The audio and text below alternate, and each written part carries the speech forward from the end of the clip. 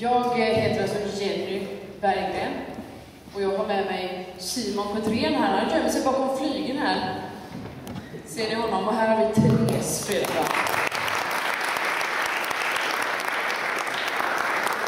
Vi kastar oss rakt in i handlingen. Jag är alltså en kvinna hitflugen från Göteborg. Jag har där en man och två små barn.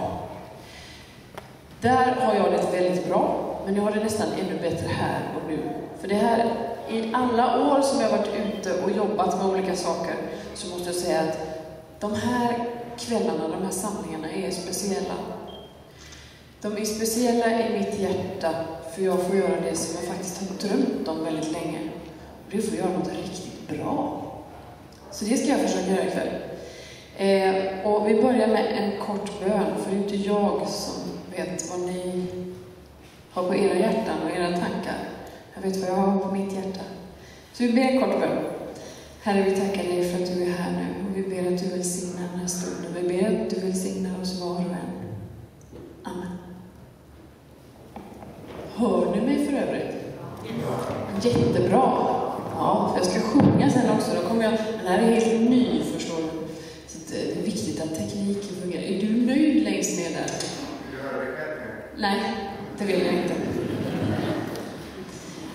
Eh, jag heter alltså Jenny. Jag fick en väldigt konstig fråga för ett tag sedan. Det kom fram en kvinna som heter Anna Brav till mig och sa, jag är journalist. Hon hade inte sån röst, men jag är journalist, jag skulle vilja att du ska skriva en bok om det du just föreläst om. Detta var på Örebro universitet. Och jag tänkte två väldigt klara tankar. Det ena var, nej, det kan inte jag. Och det andra var, ja, jag vill. Kanske onödigt att säga vad som blev kontentan där, i och med att den här har funnits i bokhandeln sedan 2009. Jag skrev den på natten, för det är så man jobbar när man är småbarnsmamma. Eh, och vi börjar från början, för det är biografi. Så här var det, när jag var liten, så mina föräldrar var kristna. Så de tog mig på kristna läger. Och jag kom till Ås stiftsgård och där fick jag lära mig en massa sånger. Jag fick lära mig eh, massa saker. Och sen när jag åkte därifrån, Ås stiftsgård, det är som en vanlig stiftsgård, fullt av läger och lägerliv. Så kom jag hem därifrån. Och då var det jättetråkigt med en gång. Så här, kul och så. Supertråkigt. Eh, men så hade jag de här sångerna som jag hade lärt mig, de var kvar. Och eh, jag hade snappat upp lite annat smått och gott sångmässigt. Jag vet att jag minns att jag som liten brukade sitta uppe i eh, mitt lilla fönster och titta ut på den vackra stjärnhimlen och så brukade jag sjunga. Och då sjöng jag två sånger, för det var två som jag kunde bäst. Det ena var Hornbucken rister sin ringlande topp av Evert Taube. Och den andra, det var psalm 210 i, sång, i psalmboken. Psalm 210. Och så satt jag där i natten och ylade, för de andra hade gått och lagt sig. Så satt jag och man är ju inte så stor då när man är fyra. Och så kom pappa och rev ner mig. Gå och lägg dig. Så vi jag gå och lägga mig. Eh, och sen så, äh, det här med musik, det var någonting som fanns i familjen. Och jag kom till eh, eh, vävdes in i alla möjliga sammanhang. Och vi lekte väldigt mycket som barn. Eh, min mamma var lärare, min pappa var läkare. Och på något sätt så fick de ihop det där att låt ungarna leka, så löser det sig. Så vi lekte tills vi blev blå. Sen flyttade vi, precis när jag skulle börja skolan. Precis när vi skulle, jag skulle liksom, inte precis, utan jag skulle börja lekskoleklass. Och i den här lekskoleklassen så gick det en, eh, en tjej som heter Sussi. Sussi var väldigt bestämd tydligen, men det visste inte jag för hon var sjuk när jag började. Sjuk i tre veckor. Hon hade vattenkoppor säkert.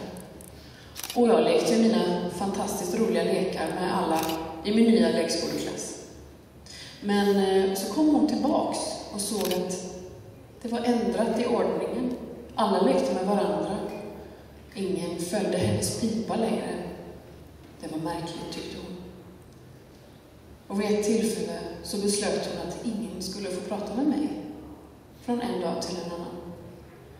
Och så ställde hon tillbaks ordningen i sin lekskoleklass. Ingen skulle prata med mig, ingen skulle leka med mig. Jag fick gå själv längst bak när man går två och två på led, för det var ingen som tog min hand. Och jag gick sist, eller med fröken. Och det där höll på i några år. Och jag minns att jag kröp upp på mitt fönster på det här nya stället. Och när jag inte längre förstod mig på livet. För det hjälpte inte om jag bytte frisyr eller om jag bytte byxor. Det var inte där det satt. Jag försökte, men det var ändå ingen som lekte med mig. Jag försökte byta utseende, jag försökte byta sätt. Men det var ju att Jenny kom in i rummet. Och henne skulle vi inte ha att göra med. Och jag minns att efter en sån här, många sådana dagar i rad när fredagen äntligen kom, Om man slapp skolan, så kunde jag krypa upp i ett fönster och så kunde jag sjunga den här sången jag hade lärt mig. Och då var det inte den sången då, alltså, orden i ormbunken rister sig ringlande topp rimmar inte med min situation alls. Utan den här gjorde det. Jag lyfter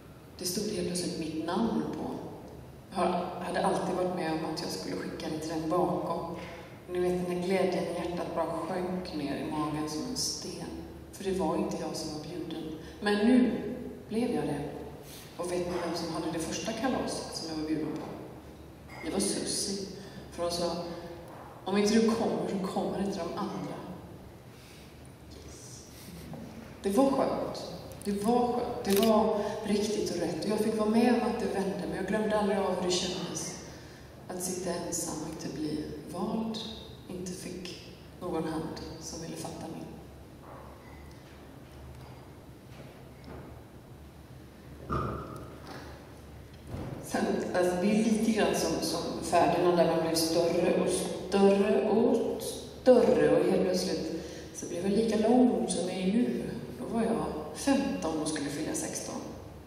1,71 sin strupp läste. Då skulle jag konfirmera mig. Det var ju väldigt roligt. Jag bestämde mig att konfirmera mig på det här stället som jag, mamma och pappa hade tagit mig till, Å stiftsgård. Det heter så. Det är ett Å och ett H och så stiftsgård. Och jag vet inte varför det heter så. Det är ett jättekonstigt namn. Å stiftsgård åkte jag och där anmälde jag mig att jag skulle konfirmera mig. Konfirmand kunde jag kalla mig då. Och det var väldigt roligt. Problemet var bara att när jag åkte till mitt sista sommarläger så hade jag fått reda på att min mamma hade cancer. Hon hade en cancer som 4-5 procent överlever i. Och jag kunde se på min mamma att hon hade hoppet uppe. Jag kunde se på min pappa, som jobbade med sånt, att det var kört. Ni vet det där, man kan inte ljuga för 14, 15, 16-åringar. Har ni försökt det, så lägg av. Det går inte. Man ser, man ser ju så mycket med det här barnet som är inom en. Fortfarande precis allting. Och när det inte stämmer, då blir man orolig. Och jag var riktigt orolig, för det stämde ju att mamma hade cancer. Och att mamma inte ville dö. Hon kröp omkring hemma i cellgifterna när jag tog mina väskor och åkte till Åstiftsgård. Alldeles röd i ansiktet och utan hår. Det enda jag kunde göra var att hämta ett glas vatten till henne. Och hon sa till mig, åk nu på det här konfirmationslägret och gör någonting av det. Gör det till ditt. Dina syskon, du har en stora syster som heter Malin som har varit där och haft jätteroligt. Din storebror Jonas har haft jätteroligt. Du ska också ha det. Och så klappar de lilla minstingen iväg på konfirmationsläger. Och vad hände där då? Jag hade ju naturligtvis roligt, för det har man ju. Det var jätteroligt och det var fullt av massa galna upptåg. Och jag var med på allihop. Jag var den första som åkte fast på konfirmationslägret till exempel, för jag smet ut om natten och sånt där. Det var väldigt skoj. Och jag minns en afton så sa våra ledare till oss, ta och sätt er för er själva en stund, den här aftonbönen.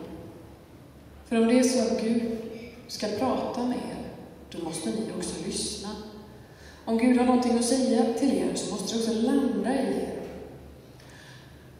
Det tyckte jag lät ganska rimligt och höll klabben för en gångs skull på en aftonbön. Slutade fläta mina kompisars hår eller rita små blommor i blocket som man alltid hade med. Så jag satte mig ungefär där du sitter nu. Och så, så sa jag till Gud, jaha, här sitter jag nu. Nu får du väl säga någonting om du vill det. Och så blev man så lite rädd, för tänk om det kommer så här från ovan. Jätteläskigt. Men ändå, om det var så att Gud fanns, så skulle han väl prata då. Och han brukar ju närma sig oss på vårt eget sätt, hade jag också fått lära mig. Att Gud närmar sig aldrig oss på ett sätt som inte fungerar. Utan han känner oss så väl så han närmar sig på ett sätt som vi själv bäst blir övertygade om. Jag satt där och aftonen var så där gräsligt vacker som den bara är i sommarsverige. Och så gick prästen fram till eh, talarstolen och slog han upp sin bok, Bibeln, och så läste han. Det var Bengt Leijon, och han kunde liksom, han hade en förmåga att stå på tå i sina sandaler. Så man såg alltid hur han guppade där framme, liksom, som en liten blond, han var grå, vithårig då. Stod där framme och guppade. Och han läste med sin hesa, karaktäristiska röst ur Efesierbrevet 4.7. 4.6 till och med. Och där står det bland annat När du ber så ska du låta Gud få höra alla dina önskningar. Och det är ju enkelt. Men för mig, nu måste jag göra en parentes här, Ni är väl övertygade om vilket språk jag pratar nu, va? Vi är överens om att det är svenska med en gräslig göteborgska. Men ni vet, det är mitt språk. Alltså, så låter Jenny. Det är inga konstigheter, va? Nu måste ni säga ja. Det blir Bra. Eh, och jag tror att jag väldigt många gånger liksom slirar lite grann på mitt sätt att faktiskt vara ärlig mot folk, men även mot Gud. Ungefär som att, nu vet ni jag pratar svenska, och vi ses där ute sen, och så börjar jag köra en liten harang på, på danska. Ja, så snackar är det dansk Ja, för det är ju då. Och du förstår vad engelska ord. Men, det. Men, men visst är det konstigt om jag skulle börja prata danska med dig, för du pratar ju svenska och jag också. Det blir konstigt. Varför gör du så? Sluta! Och så där tror jag vi gör med Gud jätteofta. Att vi snirklar till, tjusar till. Vi tror att vi behöver någonting annat. Vi behöver vara på ett speciellt sätt för att prata med honom. Men så är det ju inte. Vi är ju hans barn. Han vill ju höra vår röst. Vi ska tala på vårt sätt. Vi ska ställa våra frågor.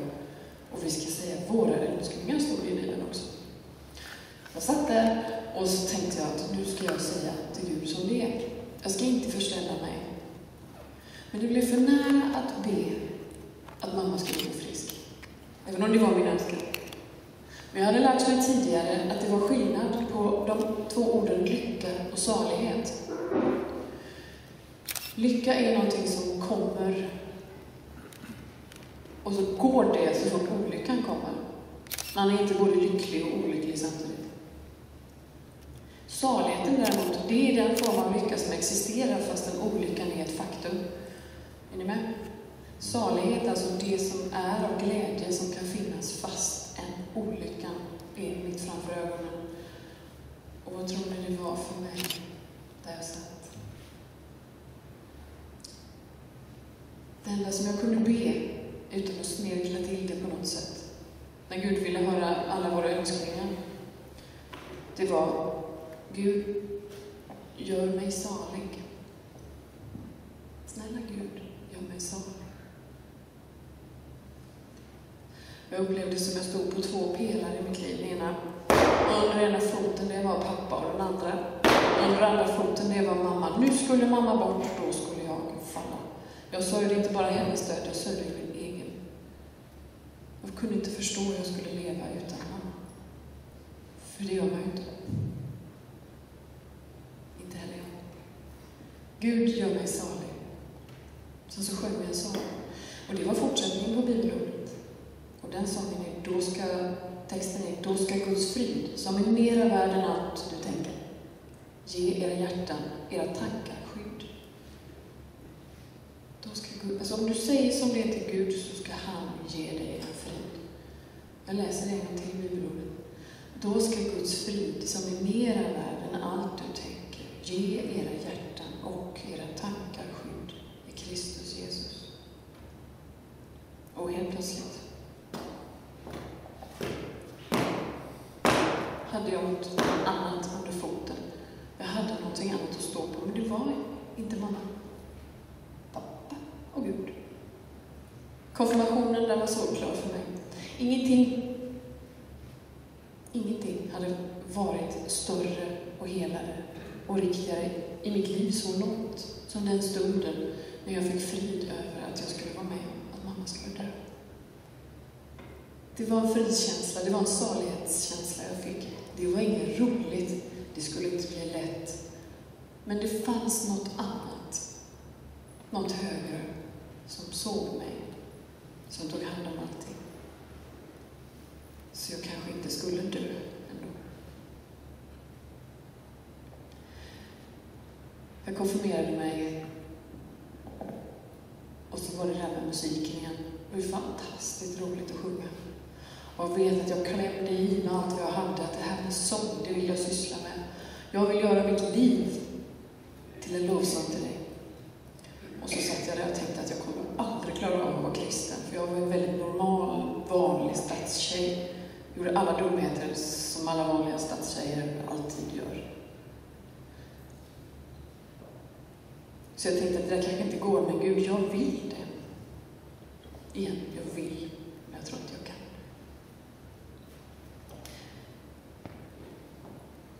Lite senare i livet så blev jag en popstjärna. Då träffade jag olika andra kollegor. Mitt kollegie är ett lite speciellt kollegium, popstjärnorna. De är lite märkliga allihop. Handen på hjärtat. Och eh, fantastiska människor. En av dem heter Melanie C. Hon var med i Spice Girls. Och hon har gjort en jättebra låt som fångar in lite av det här med hur det är med Gud när man kommer ut i vardagen. Man får vända sig helt enkelt mot honom.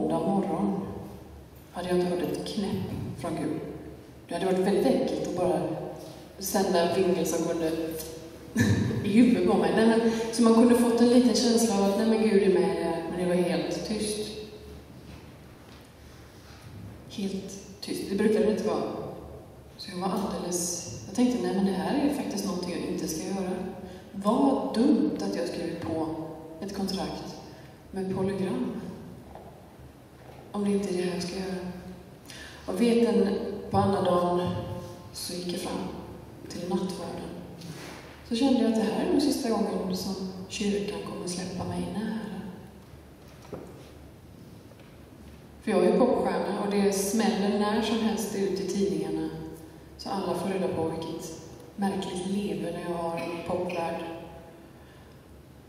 Och så gick jag altargången fram och böjde knä. Och det är första och enda gången jag har hört med mina fysiska öron det absolut vackraste som jag har hört i mitt liv. Du är mitt älskade barn, jag ska aldrig överge dig. Det var vad jag upplevde att Gud sa. Du är mitt älskade barn, jag ska aldrig överge dig.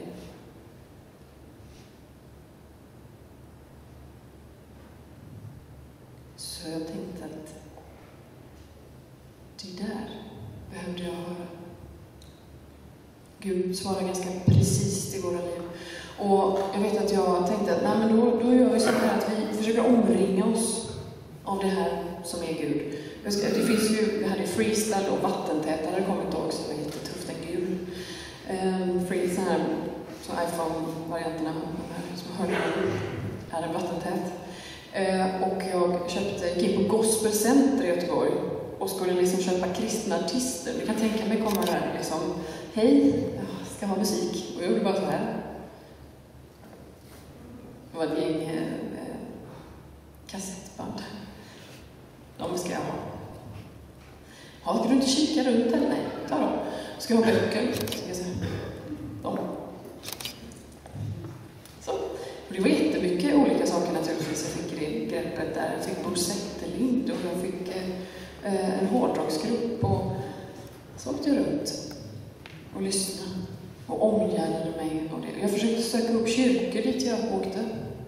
Så när alla andra låg och var as bakfulla, för de hade slåtts ute i korridoren natten innan och haft riktiga spritfester, då skulle jag gå upp. Hej livvakten, nu ska vi gå till kyrkan. Nej. Jo, så jag, jag försökte hitta mig fram där.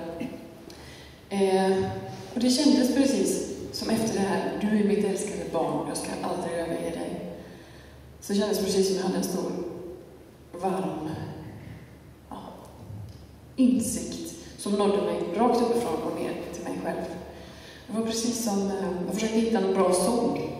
Och det var det bara Cat Stevens som hade. Cat Stevens. Moonshadow.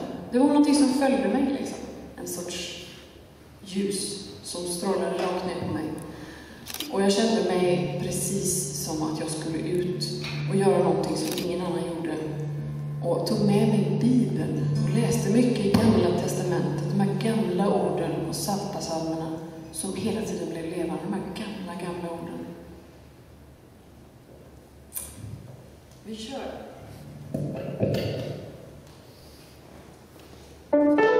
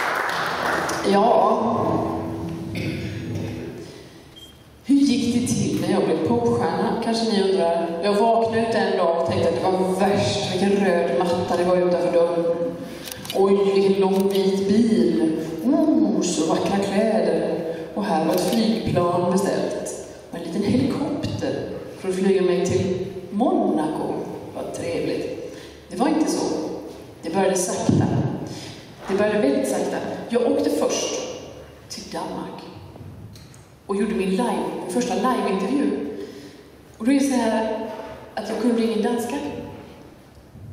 Så jag och min bror och min syster och Ulf i bandet, vi satt runt ett litet bord och det var en mick som var riktad åt allihop, eller så vi hade varsin. Och så satt det en dansk på livesändningen som gick över hela Danmark. För det var, så att vi var ett fenomen där. Vi var nummer ett och nummer två på singellistan. Men det var ingen som hade sett oss. Det fanns inte en video, det fanns inte en bild. Det var ett musikaliskt fenomen. Vi hade bara sagt Woof! Så vi satt där och alla ville liksom ha, vilka är det? Vilka är det som har gjort den här musiken? Och så satt vi där på liveintervju och jag hade precis lagt pennan från lärarhögskolan i väskan och satt mig på ett tåg ner och så kom vi in på The Voice i Danmark. Och så började intervjun och lampan knallröd.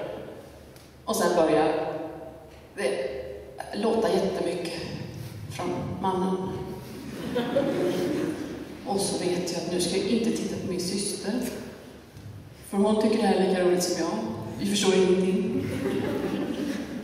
Och nu har han frågat klart, det såg man på kroppsspråket och... vi? Något sånt. Nej, nej, nej, nej, nej, nej, nej, nej, nej, nej, nej, nej, nej. Så tittade jag på min bror som skruvade på sig. Och sekunderna var som en månader. Jag skojar inte. Jag kände mig så dum.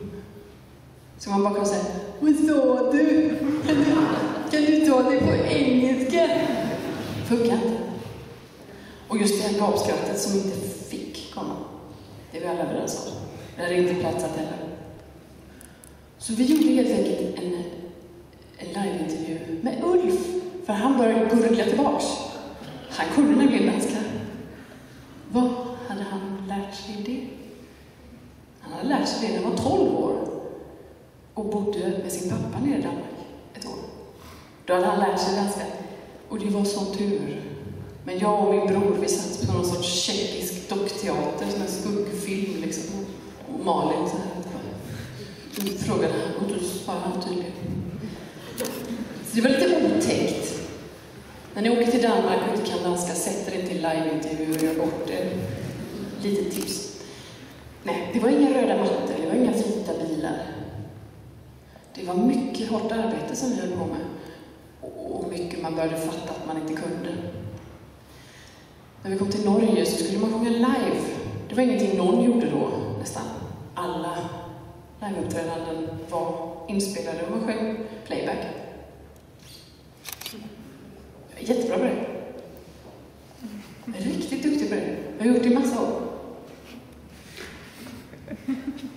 Man mimar, det är en konst. Om man mimar fel så ser man ut som en örn. Så det får man inte. Om man snubblar så gäller det att snubbla med micken så man kan... Fast fötterna är uppe i luften. Så det är en konst. Man får ju inte göra bort sig. Det går ju inte. Nej, det gör Eh, så jag lärde mig lite sakta. Och detta var 92, 93, 94 så kom vi faktiskt till USA. Och där slog vi något så soppa så vi fick ta emot Billboard Awards.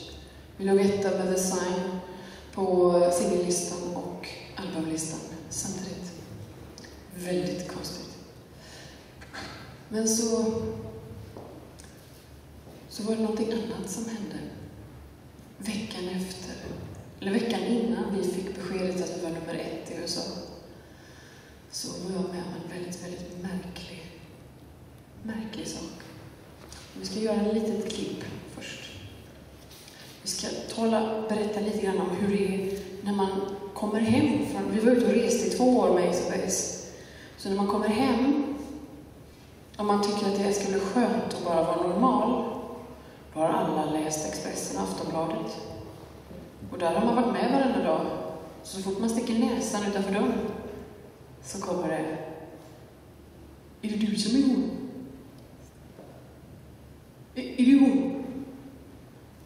Hon den mörka? Vi pratar ju så i Göteborg. Hon den mörka? Ja, det är jag. Hon är så bäst. Ja, det är jag. Nej. Jo, jag. Det är sant. Det är sant. Nej. Och så höll det på. Så gick man bara, var spännande, eller kom någon sån här grej, så gick man några steg, du, du, du, du, du, så kom nästa. Nej, va? Är det du? Ja. Sista koll.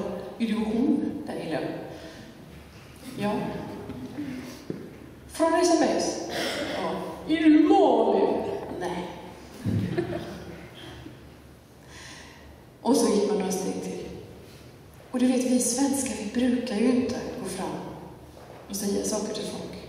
Jag kunde vara med om sex sådana här dialoger, monologer kanske man ska säga, men tills jag kom fram till mitt ärende. Det var på den tiden då man postade, gick till posten för att betala räkningar. Så ni förstår inte, det var ett tag sedan.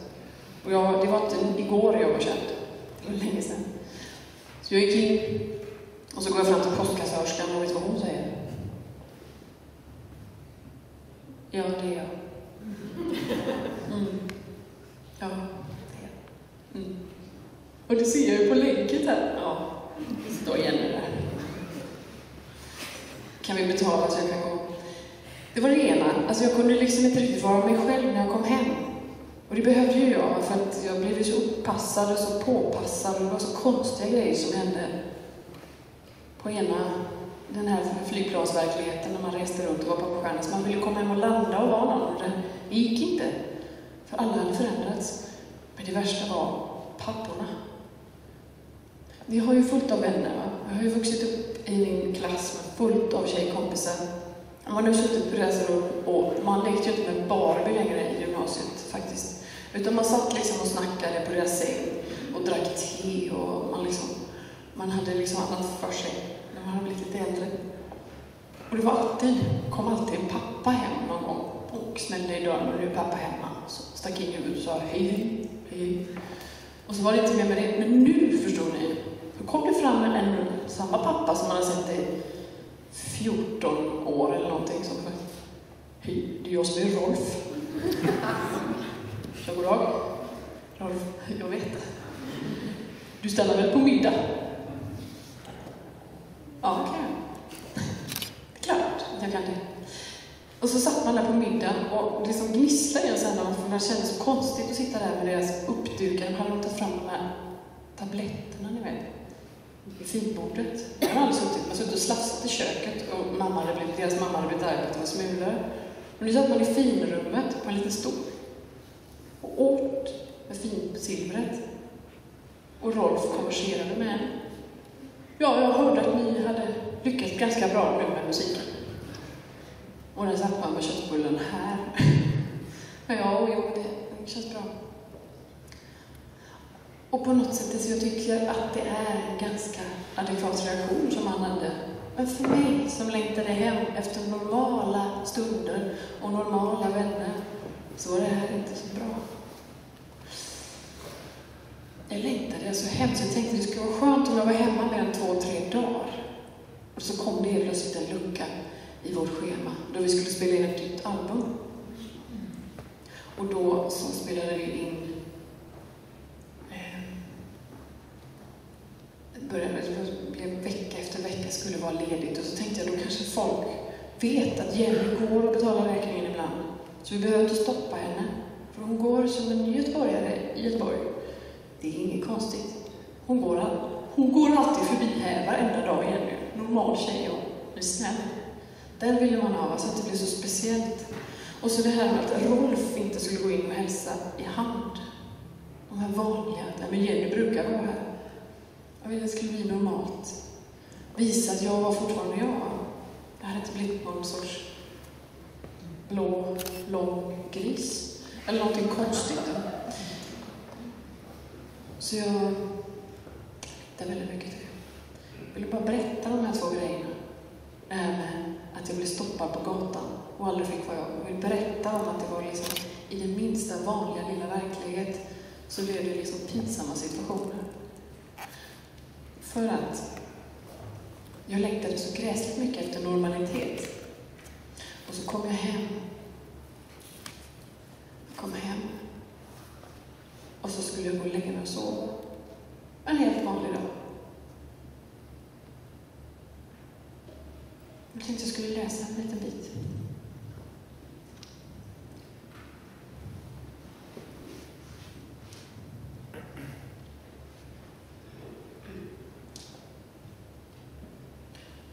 Den senaste tiden har min hemlängtan varit som ett skal utanpå min egen hud. Varje gång jag ska åka iväg någonstans så snörps skalet åt. Och när jag är hemma och egentligen borde vara glad kan jag inte sluta tänka på hur jobbigt det är att vi snart måste åka iväg igen. Jag har lärt mig att en resa för mig alltid tar sex dagar mer än vad som står i schemat. Tre dagar innan vi ska iväg så börjar min oro över alltihop och när jag kommer hem så tar det tre dagar innan jag lyckas varva ner och tycker jag kan vara mig själv igen. Eftersom vi alltid ska iväg nu direkt, numera är det sällan jag lyckas landa på det sättet. Jag är konstant trött och känner mig tunn, av sömnbrist och av alldeles för många obearbetade intryck. Alla mätare i min själ visar tom tank och full last. Men nu ska min sönderresta kropp äntligen få lite vila och normalitet. Det är den 25 april. Jag går in i mitt hus en annan väg. För jag märker det är någon konstig person utanför huset. Och det är inte så konstigt för det hänger en massa konstiga fans och folk och de springer omkring på nätterna så det kan mycket väl vara någon, men jag vill liksom smiter in bakvägen så det inte syns.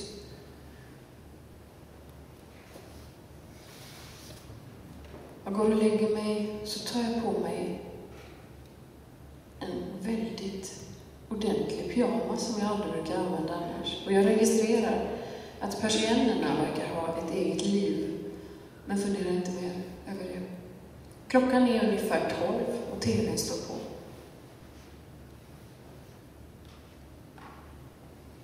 Det är något som oroar mig, något som jag inte kan ta på. Vårnatten är ljum.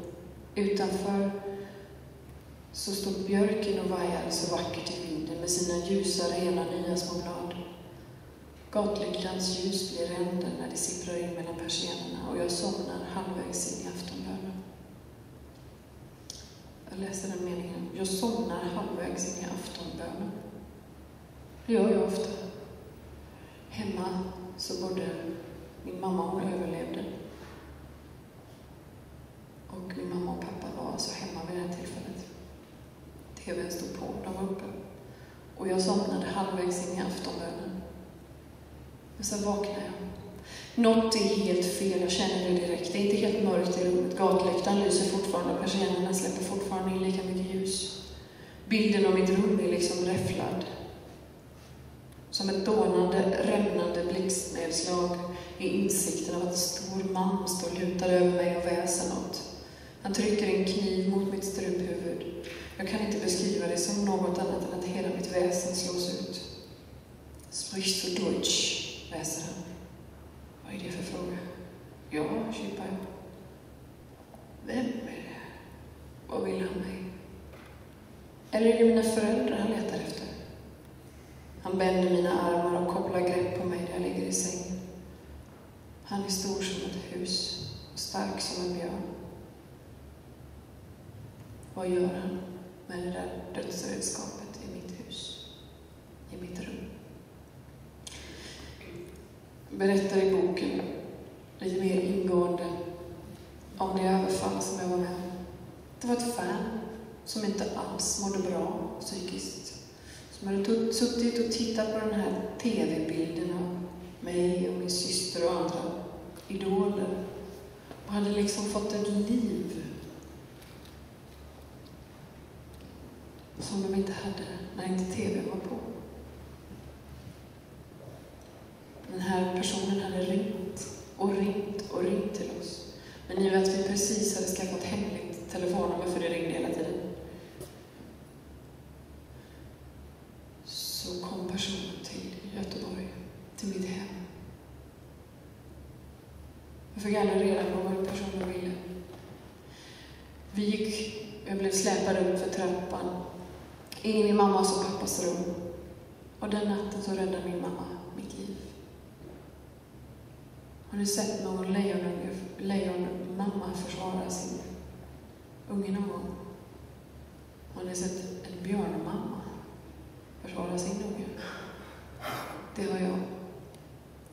Fast en människomamma försvarar sin människounge. Det var fint att se. Inte rubba de där mammorna.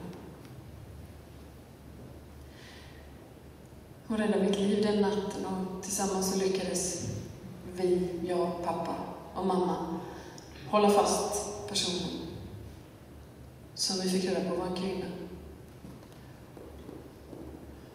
Polisen kom och hon blev inspärrad. Och jag blev liksom inspärrad i en annan verklighet.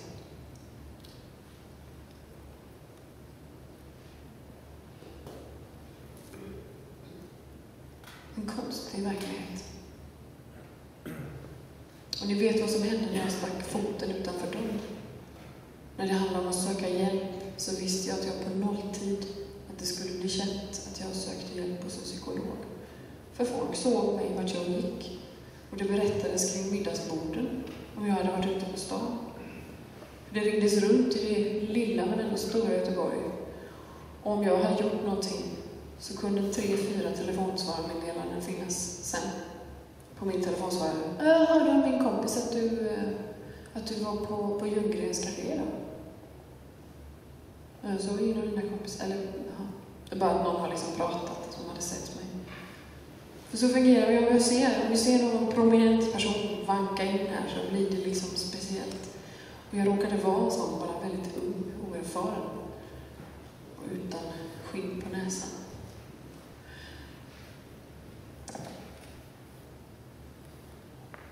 Jag var med om här sakta nedslitandet när man inte får hjälp med sina problem. Jag hamnade till slut i en situation där jag satt i vår kyrka. Och jag kände att jag sitter inte bara i vår kyrka, jag sitter i en torktumlare. För själen bara går runt i mig. Jag var tvungen att gå ut för annars skulle jag börja skrika när som helst. Åkyrka, kyrka, där får man inte skrika. Jag ska bara vara tyst och snäll. Jag gick ut så sa gode Gud, vad är det här? Nu måste jag ha hjälp. Och det upphörde inte riktigt, känslan. Det här var ett år efter överfallet. Jag gick in och satte mig igen. Så kommer det fram en präst till den här talarstolen. En annan präst, som inte guppade. Han stod helt still och sa, hej, jag heter det och det och det. Jag är själavårdare på själavårdscentret här i Göteborg. Och jag sysslar med bland annat panikångest mot sådana attacker. Det är som att kliva in i en torktumlare ungefär. Jag bara... Ska jag prata med sen? Vad, trevligt. Bra. Tack. Och så kunde jag liksom prata med någon som sa att men Jenny, du är inte galen. Du är inne i en kris. Det var så skönt att få ett ord. Fyra bokstäver. Kris. Överfallet var gräsligt. Och det satte mig i mina nätter som också var gräsliga. Jag kunde inte sova, för det här spelet fanns hela tiden framför mitt. Att det skulle komma någon som ville ta mitt liv. Det fanns ju tydligen sådana människor där ute. Och min ensamhet och min rädsla och min utslitna kropp och själ, den mådde inget bra. Jag bestämde mig nästan varenda natt för att jag skulle slänga mig ut genom fönstret ifall det kom någon. Så man skulle ta och göra slut på allting. Men jag kom på att det var bara några få steg till fönstret. Jag kunde bara kasta mig ut från sjätte våningen. Det var så, fjärde våningen, men det var så högt upp. Som ett sjätte sexvåningshus. Jag tänkte, nu dör jag. Hellre det än att jag får gå igenom det här igen. Jag mådde så fruktansvärt dåligt. Och så började jag prata med den här prästen. Och han kunde ta emot mig och vi kunde komma sakta fram till att med de här orden som jag hade kunde sakta, sakta lösa situationen för mig. Och han sa vid ett tillfälle, Jenny, du ska gå och sätta dig utanför huset och vara med om det här. Eller gå in i huset och låta tankarna flöda. Och låta Gud sömma i det som är trasigt. Och det kände jag, det fanns inga odds att jag skulle sätta mig där. Jag skulle bli galen om jag satte mig där. Jag tänkte att det kommer jag inte göra. Och så en kväll, en, efter, en eftermiddag, beskriver i boken, så råkade jag vara ute och köra. Så satte jag mig, en vårkväll var det, satt där, eller vår, vårdag var det. Satt, då stannade jag bilen utanför huset och så ber jag, Gode Gud, hur djupt är det där såret jag fick? Vet du vad som jag får då som tanke, första tanke? Det var datumet. Jag blev överfallen inte den 25 april, men den 26 april. Jag rodde tillbaks på årsdagen och satte mig utanför och tänkte, nej, då är det meningen det här. Igen, jag fick en liten, liten, liten tum om att det som du är med om just nu, det håller jag i min hand. Jag behövde liksom ett tecken. Så jag mig och sa, ja, det var bra. Visa nu hur djupt såret är. Och då fick jag se mitt liv från när jag var liten. Och Susie gjorde mig illa. För det gjorde hon. Och så fick jag se nästa djup när mamma var sjuk. För det var hon ju. Jag visste ju inte att hon skulle överleva. Det visste ingen. Jag trodde ingen. Hon bara inte dog. Hon slutade med sin behandling. Och så hade kirurgen tagit bort allting. Så hon bara överlevde. Men jag gick ju många år med en bävan att hon skulle få tillbaka det. Så såg jag de här djupa, ungefär som en topografikarta. va? Om ni varit ute och orienterat i skolan så vet ni hur det ser ut. Går upp och ner. Och så såg jag en bild som äntligen förklarar varför jag känner mig som två människor. Den där before, before the överfall och den efter överfallet. För det var nämligen av. Det kunde inte mina måttstockar mäta. Det var så djupt. Och så fick jag se att det tog slut. Liksom. Livslinjen fort stack rakt ner i marken och fortsatte. Men det var att den här gången, när jag såg hur djupt det var, så började det liksom strömma in något annat där. Det var precis som att Gud sa, nej men jag har, jag har koll. Jag vet precis hur djupt det är. Du behöver inte tänka på det, jag tar det nu. Och här får du liv istället. Så det var precis som jag var med om en sån här känslomässig mm, operation, kan man säga så? Kan man nog. Operationer är egentligen inte så vackra, men de är, Tack, är ju god.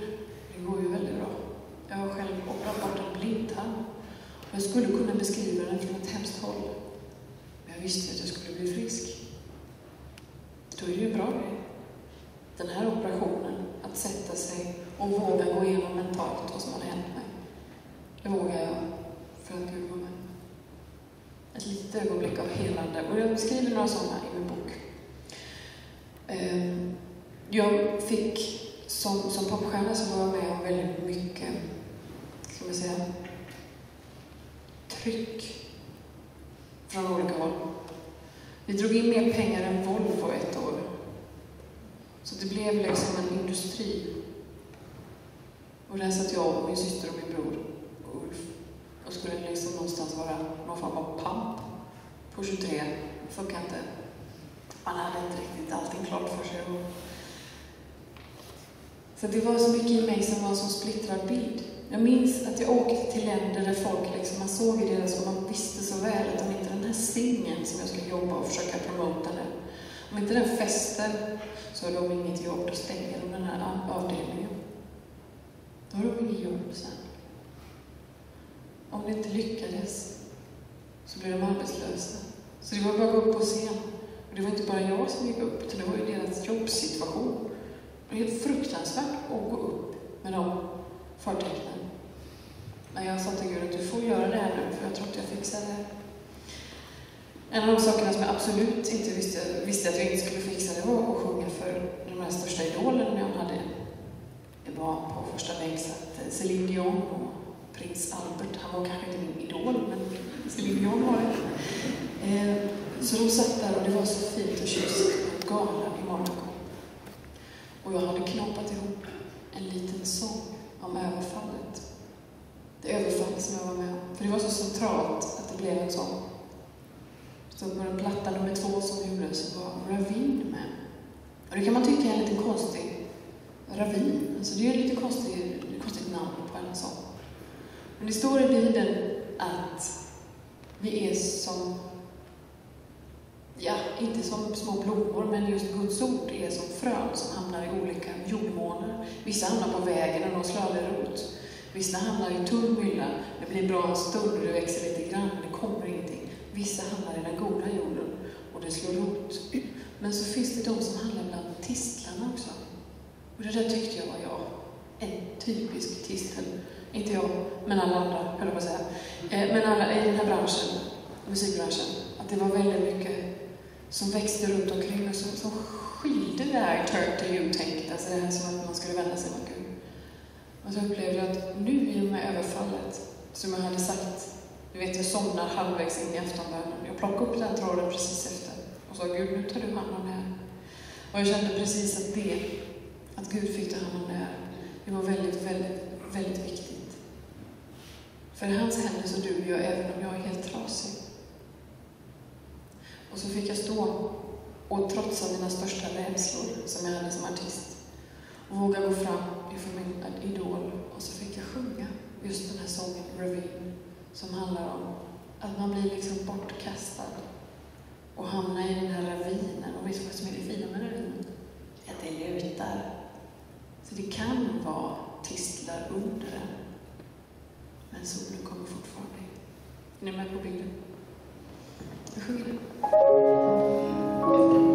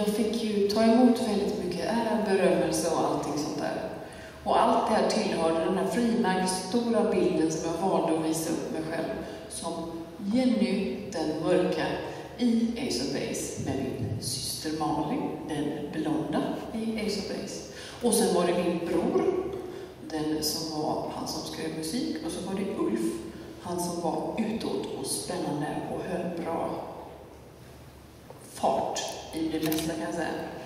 Så vi var ett intressant team. Jag var bara ett litet frimärke. Jag var så här stor. Jag hade valt det själv. För jag visste att det här kan jag visa upp när jag kommer, liksom den var halvt av och man just hade klivit av planet och sminket var i väskan och precis någon decimeter nedanför ögonen.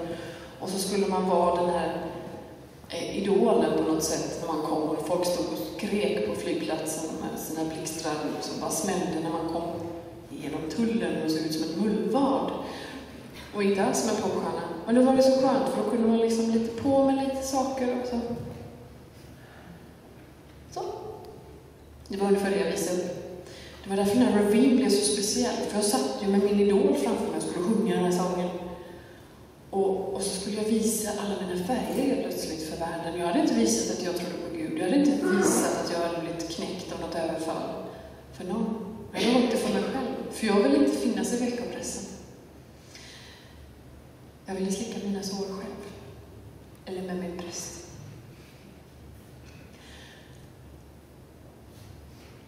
När allt det här märkliga hände, som hände, så vet jag att jag hade liksom hela tiden ett samtal med Gud. Jag skulle ju inte prata danska med honom. Jag skulle ju prata svenska.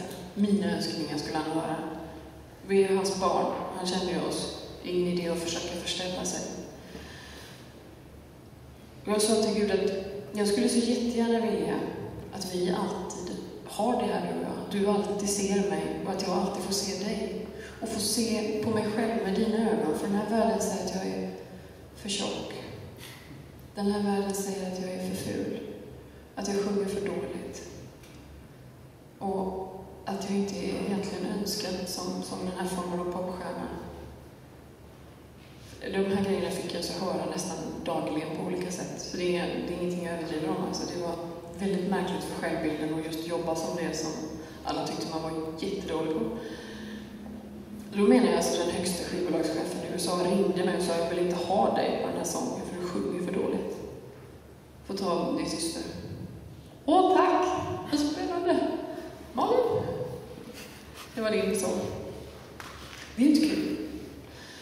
Självbilden hade fått sig rejält att Jag behövde Gud i mitt liv. Jag behövde någon som älskade mig, precis som jag behövde när jag var sex år. Någon som tyckte om mig för den som var Jenny. Den som jag var när jag vaknade på morgonen jag såg ut som en bäver. Såg ut som jag gör. Jag ser inte ut som en bäver, jag vet, men jag såg ut, såg ut hur som helst. Så där, så man, man tänker att man kanske inte, är ska, ja, ni vet. Man blir lite krossad i sin självbild ibland när man tittar i spegeln. Man tänker att man är en person, så tittar man sig i spegeln så tänker man, ja fast inte den. Och det där var många väninnor som kände. Många människor kände så. Och jag var en av dem. Och jag hade dessutom papper på att jag inte dög, så det var liksom inte så kul. Gud ville ha mig precis som jag var. Han var viktig för mig. Med hans kraft skulle jag orka göra det här. Så jag sa till, honom, till Gud att ta bort allting. Ta bort pengar, ära, berömmelse. Du vet att jag värderar inte det så mycket. Men jag vill behålla tre saker. Jag vill behålla konfirmationskorset som jag fick av pappa när mamma var så sjuk. Det har ett sånt affektionsvärde, det kommer jag aldrig kunna köpa igen. Det var det värdefullaste smycket jag hade. Vad är det värdefullaste smycket du har? Jag sa till Gud att jag ville behålla min bibel. För den hade jag åkt runt och klottrat i när jag åkte jorden runt några gånger med flygplanen. Och, och det var väldigt skönt att sitta och slappna av i Japan och veta att jag kan läsa Guds ord. För det finns inte så mycket i Japan. Det är byggt på ett hierarkiskt system. Man märker det med en gång. Det är liksom annorlunda. Det är bra, men det är annorlunda. Och så sa jag, korset, Bibeln och så vill jag behålla min pappa. Det var inte så konstigt att jag ville behålla honom. Jag hade liksom inte lärt mig att vara utan honom direkt.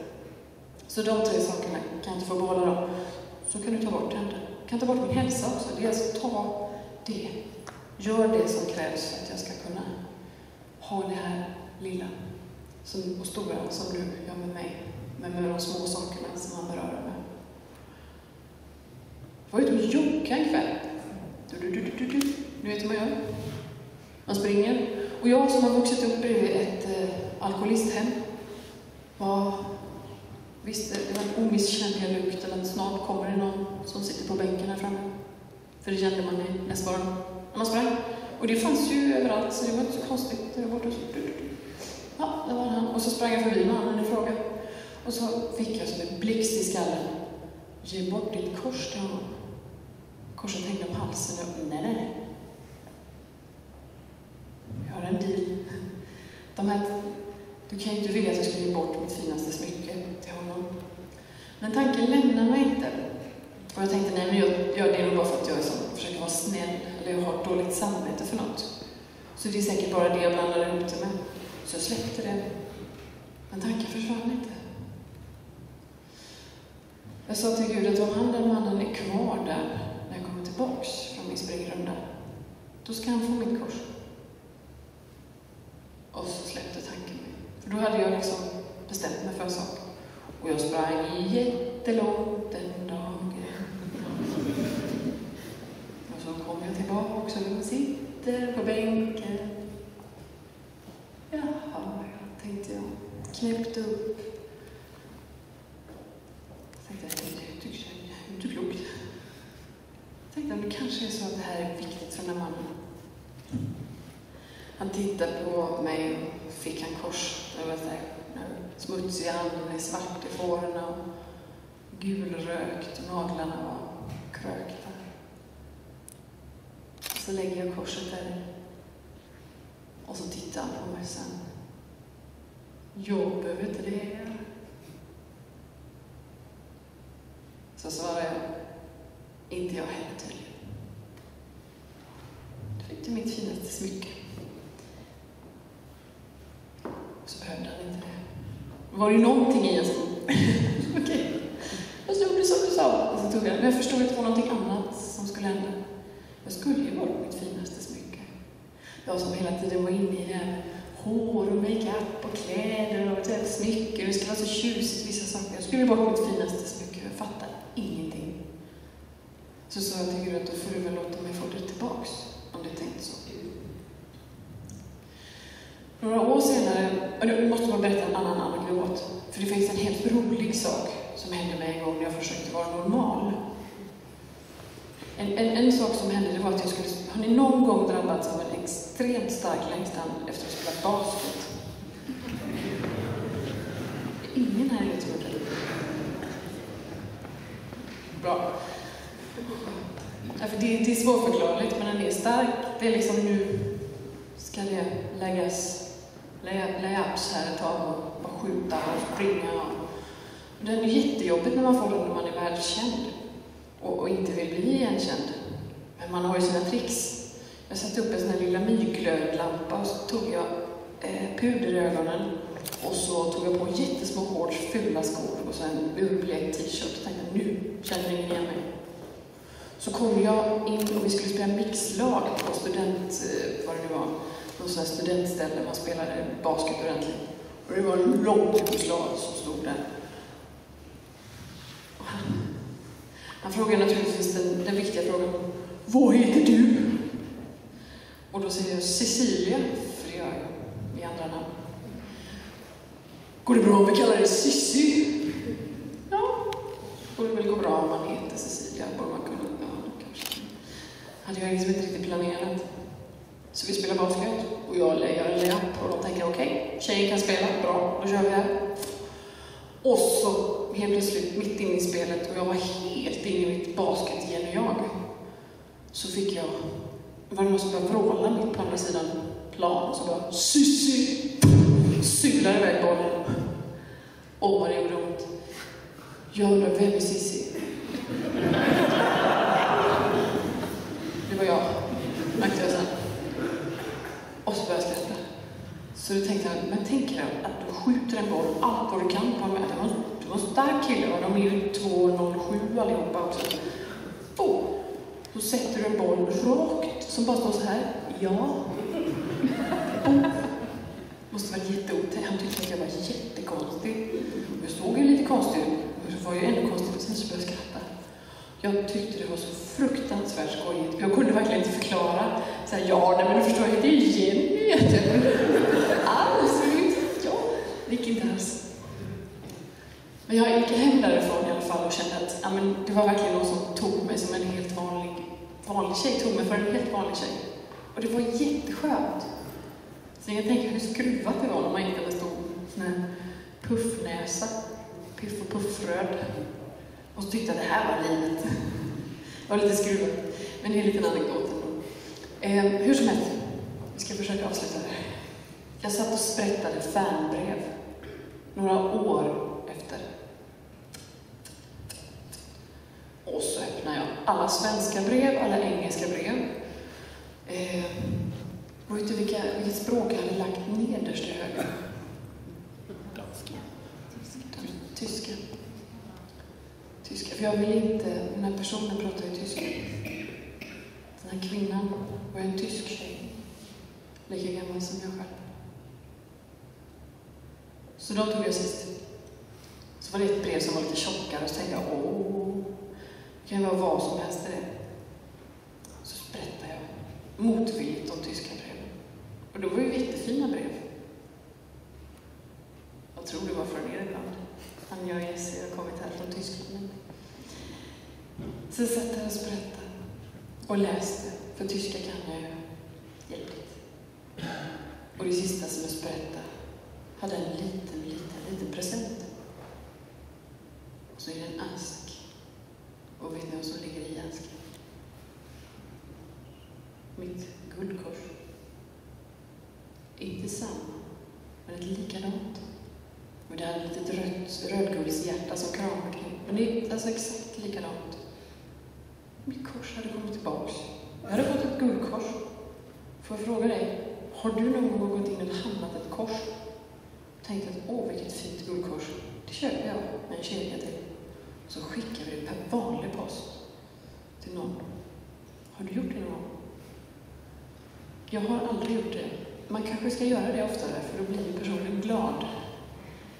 Jag blev väldigt glad när jag fick det här korset.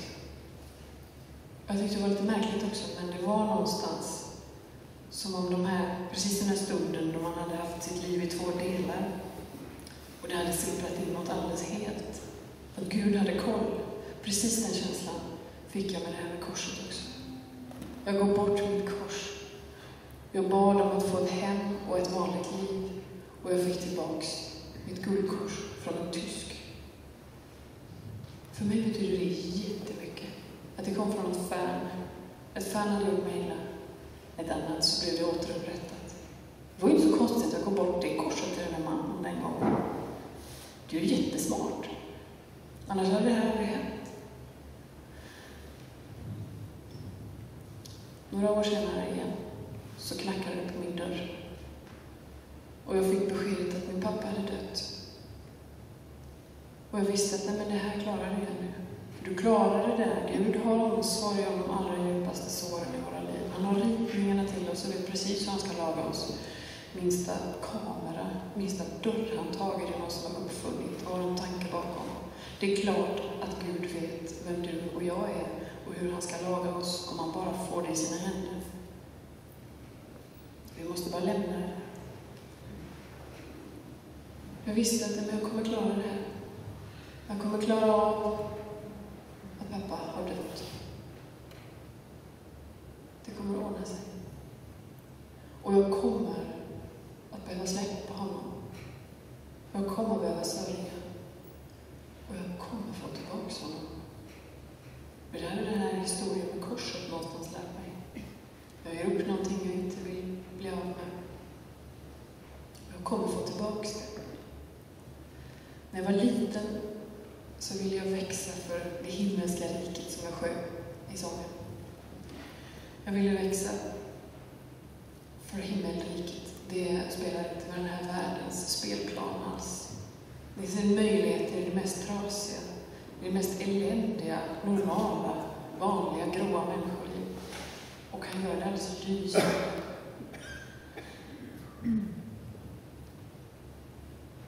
Han är en mästare på människor och skapar liv. Han kan göra fantastiska saker av dig och mig. Och han gör det. Och det bästa han vet är, fick jag lära mig när jag satt på en stol och inte gjorde någonting. Man bara satt och umgicks med Gud. När man bara var, precis som ditt barn eller din älskade, när den bara är i din närhet, då händer det någonting. Så är det med Gud också. Han är älskad när vi bara är i hans närhet. Och han kan ju vara nära när som helst. Han har ju inga begränsningar. Det är ju vi som har det. När jag fick förfrågan om jag skulle skriva en bok så beslutade jag mig för att skriva det sista kapitlet först. Jag hade gått och stavat på det där med pappa. Att han var död och var han var någonstans. Jag tror inte pappa går runt som en vålnad här i eh, Sverige eller något annat land heller. Jag tror han är död. Smällдöd, som döda är. Men jag tror också att himmelriket pågår någonstans. Och där finns ingen tid. Det är där det börjar bli lite krångligt i min skalle. För någonstans så finns han. Ändå. Och det där är ju som ett gruskorn som hamnar i en. Man fattar inte. Och så går man omkring och tänker. Så ber man Gud, snälla hjälp mig förstå. Hjälp mig greppa sorgen.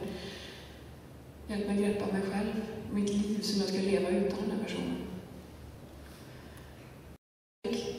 Frågan av Anna Brav om du ska skriva en bok, då satte jag mig framför min dator och så skrev jag begynnelsen på min bok. Då heter kapitlet Hur det slutar. Jag tänkte jag skulle läsa en bit för er om det. Jag vet hur allt slutar. Jag drar mitt sista andetag och vänder en gång för alla bort min blick från jorden. Sedan upptäcker jag att jag inte alls har slutat leva. Jag fortsätter tänka och tankarna är märkliga fria och glada. Jag sträcker på mig och ingenting gör ont längre. Jag får syn på några som, som jag känner igen och när jag kommer närmare visar det sig vara en hel folksamling. Alla människor som jag älskar, de är här allihop. Jag blir så glad av att se dem. För några av dem fick jag klara mig många år utan på jorden. En av dem som går omkring bland vännerna är skaparen själv. Det är han, en vän. Jag har anat honom på jorden i den vackraste solnedgången och i kärleken till mina närmaste. Han har visat sig i min tanke och ibland har jag skymtat hans anletsdrag i människor som har räddat min dag genom, en, genom ett leende eller en trevlig stund i någons kök. Eller ett möte med en människa som har hjälpt mig förbi ett hinder. Och jag har känt hans närvaro i varje bit av humor och värme. Jag gav ju mitt liv till honom och han, skulle, och han sa att han skulle bära mig genom hela mitt liv och in i nästa. Först där så kommer du se mig som jag verkligen ser ut. När jag för första gången ser honom så förstår jag varför vi på jorden bara fick se nästa liv som en diffus spegelbild. Med de begränsade kroppar som vi hade där skulle vi inte kunna klara av att se honom ansikte. Men i mitt nya sinne, min nya kropp, så finns det plats för en storhet, det känner jag.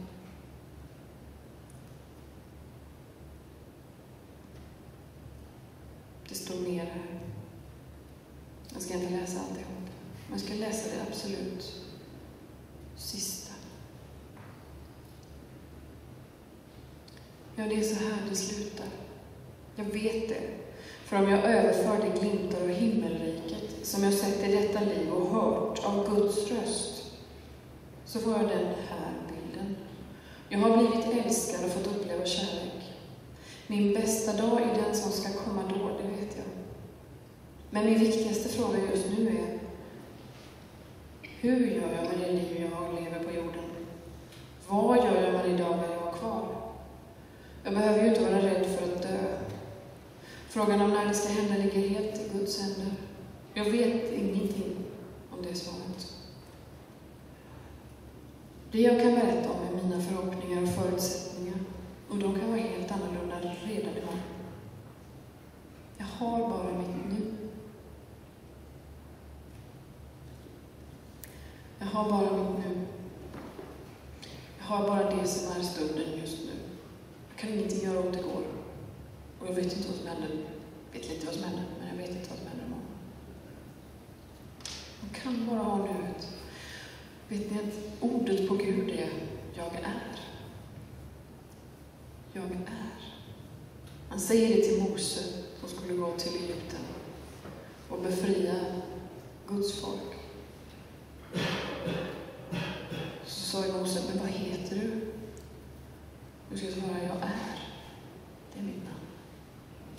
Är varandet, nuet. Har du tänkt på det? Jag är, alltså stunden just nu. Det är Guds ögonblick.